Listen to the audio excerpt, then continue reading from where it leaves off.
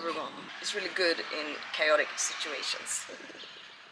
I am. I don't really know why. I think I've had a lot of chaos in my life since I was born.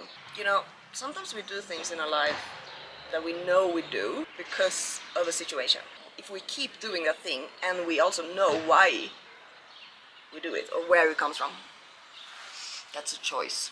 But when we keep doing something that we don't know where the roots comes from, the seed, we don't know why we behave in certain ways. And then we just keep doing those things without really thinking, right? It's unconscious. It's not a conscious decision. And a lot of people do this in the world.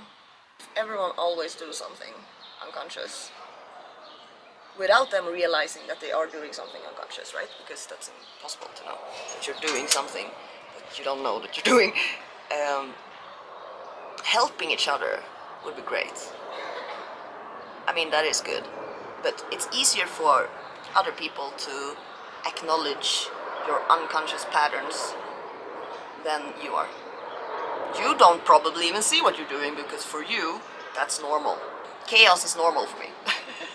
change is kind of normal for me, which is so funny because I've said for a long time that I dislike change. But I don't think that's true. Because why the fuck do I travel? I, I go through change all the time. I just think that when it's the big ones, you know, the big ones that I don't have control over.